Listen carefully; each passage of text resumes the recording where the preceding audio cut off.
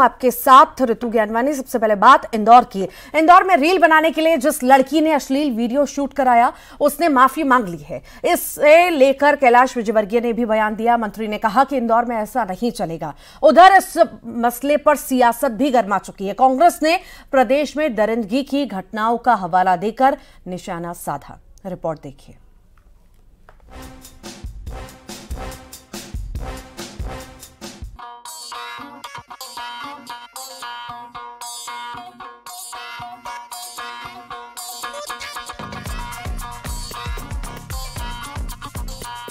Reel की सनक के लिए लोग कुछ भी कर रहे हैं।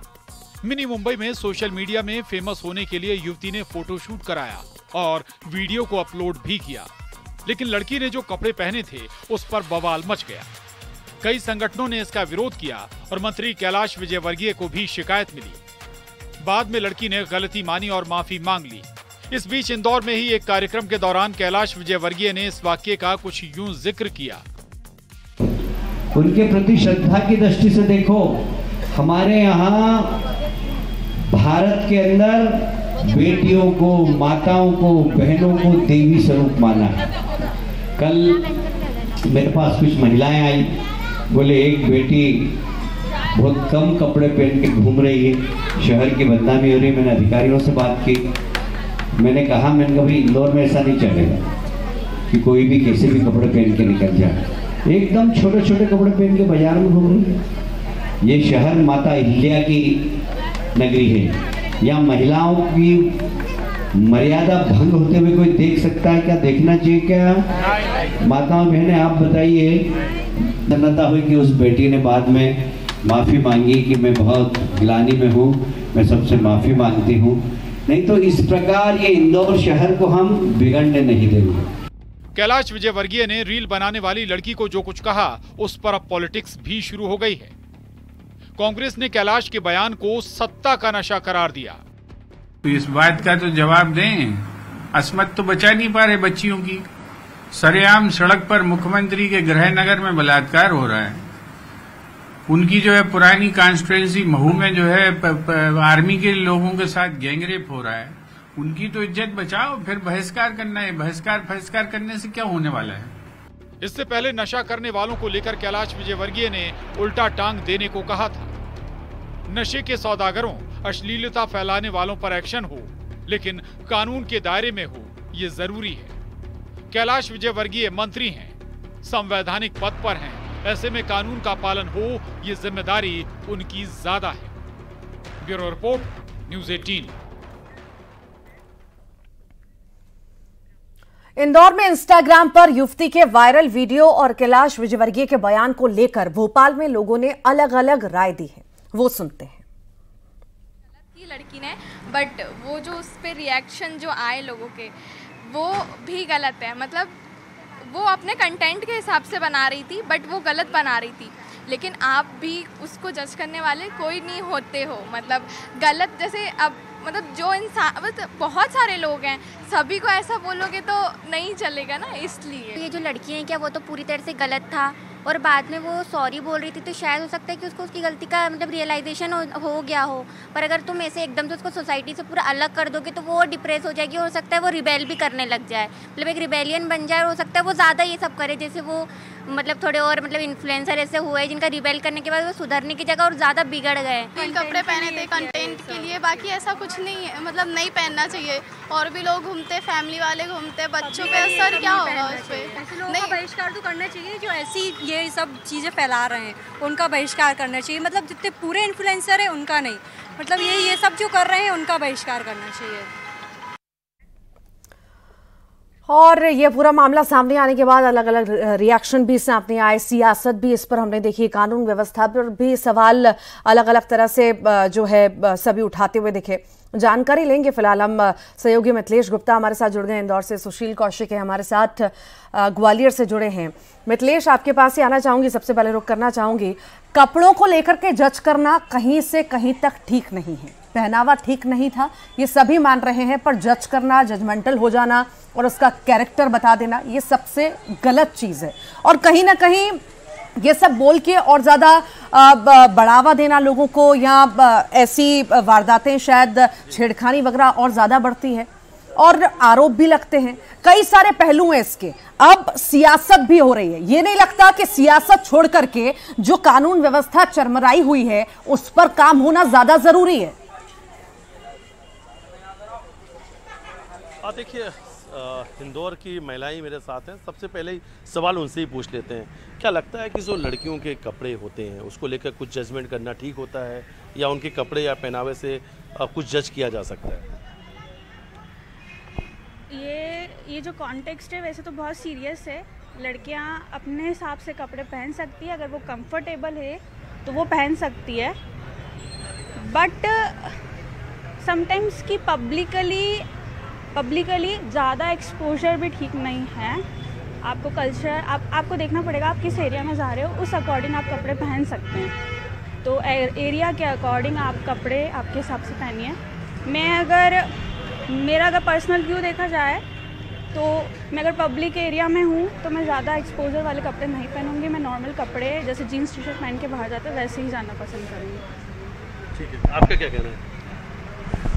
मेरा कहना है कि हम जो भी वेयर करते हैं कपड़े, हमें बिल्कुल आज़ादी है कि हम हर तरह के कपड़े पहने। बट हमें ये देखना चाहिए कि हम किस जगह जा रहे हैं। हम मंदिर जा रहे हैं तो हमें सर ढक के जाना चाहिए। हम शादी ब्याह में जा रहे हैं तो उस तरह के, ऐसी जो पब्लिकली प्लेस होते हैं, वहाँ पे तरह तरह के लोग होते हैं तो हमें इस तरह वहाँ जाना है ताकि किसी का बिल्कुल कोई अटैक ना करे हमारे ऊपर, क्योंकि फिर इसके जिम्मेदार हम खुद होते हैं। क्योंकि अडरगल या अभद्र अगर हम ड्रेस को वेयर करते हैं और अगर कोई कमेंट्स करता है या आपके कोई कमेंट करता है अटैक करता है तो इसके कहीं ना कहीं जिम्मेदार हम खुद होते हैं।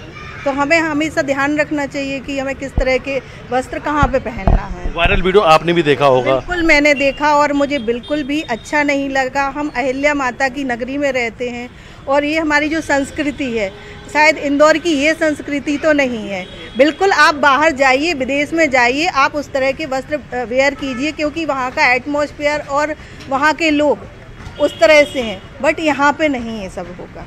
यहाँ पे आप, बिल्कुल आप अपने घर में रहिए नाइट में आप वेयर करिए, अकेले में वेयर करिए बट ये पब्लिकली बिल्कुल भी अच्छा नहीं है। और दूसरी चीज़ क्या आपको भी लगता है कि लड़कियाँ जो कपड़े पहनती हैं महिलाएँ जो कपड़े पहनती हैं क्या उस पर भी कोई एक जजमेंट हो सकता है या लोग करना चाहिए नहीं करना चाहिए? आपका क्या मत है? क्या सोचते हैं आप? देखो जजमेंट की तो बात ये है कि अ, करना चाहिए। क्यों नहीं करना चाहिए? आप मंदिर में जा रहे हो। अगर आप उस तरह के वस्त्र पहन के जाओगे तो क्या भगवान भी आपको उस, कंडीशन में देखना पसंद करेंगे क्या? नहीं ना। ऐसे ही लोगों की निगाहें होती हैं कि हम मतलब किस जगह पे है वो- आपको उनकी निगाहों का सामना करना पड़ेगा फिर। करिए आप। अच्छा सिस्टर एक सवाल आपसे कि क्या लगता है कि लोग रील्स बना रहे हैं उसमें लोग देखते हैं व्यूवरशिप भी आती क्या इस कारण से भी आ, कहीं भी आप कपड़े आ, कुछ इस तरीके से पहने जाते हैं कि आ, हम उन्हें भी व्यूवरशिप मिल सके? वो एक पर्सन की मेंटलिटी पे डिपेंड रहता है कि वो रील्स किस बेसिस पे बना रहा है। अब उसको व्यूज़ के लिए रील्स बनाना है तो ठीक है, उस हिसाब से वो कपड़े पहन लेते हैं। बट कोई सिर्फ़ एंटरटेनमेंट पर्पज़ के लिए बनाता है, कोई इन्फ्लुएंसिंग के लिए भी बनाता है but in all in the end वो उसकी मैंटेलिटी पे डिपेंड रहता है। अब आप सबको ब्लेम नहीं कर सकते ना इस इस चीज़ पे। एक की वजह से सब पूरी कम्युनिटी को ब्लेम नहीं कर सकते या फिर कपड़ों पे ब्लेम नहीं कर सकते हर चीज़ के लिए। बिल्कुल सही कहा आपने कि एक की वजह से सब पर सब ब्लेम नहीं हो सकता है और एक की वजह से कपड़ों पे ब्लेम नहीं जा सकता है। वो उस सामने वाले का मन है कि उसको कैसे पहनना है किसको कैसे नहीं पहनना है। और फिर रील्स की बात है तो जी। वो लिटरली थिंकिंग पे डिपेंड है कि वो काहे के लिए वो रील्स बना रहा है। क्या कुछ कहेंगे? आप बताइए। एक- एक रिएक्शन आपका। आपको क्या लगता है? कपड़े जो रहते हैं वो शरीर की सुंदरता को दिखाने के लिए रहते हैं ना कि अंग प्रदर्शन करने के लिए। अंग प्रदर्शन करना गलत है ना?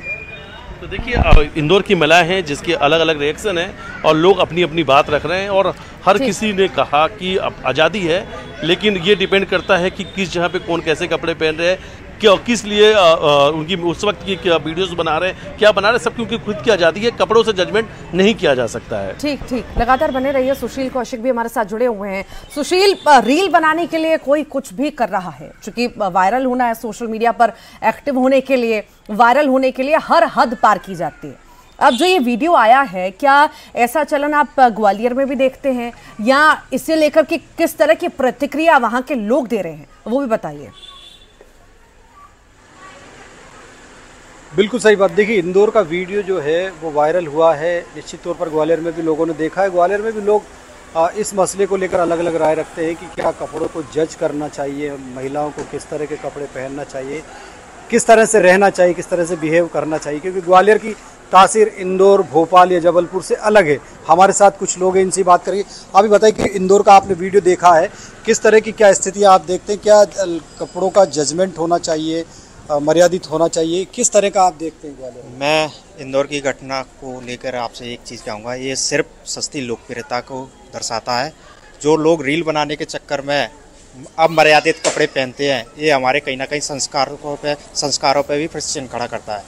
तो इस मामले में माननीय कैलाश विजय वर्गीय जी ने जो संज्ञान लिया है मैं उनको धन्यवाद देता हूँ। ऐसी पुनरावृत्ति इंदौर में द्वारा ना हो इन्होंने चेतावनी दी है।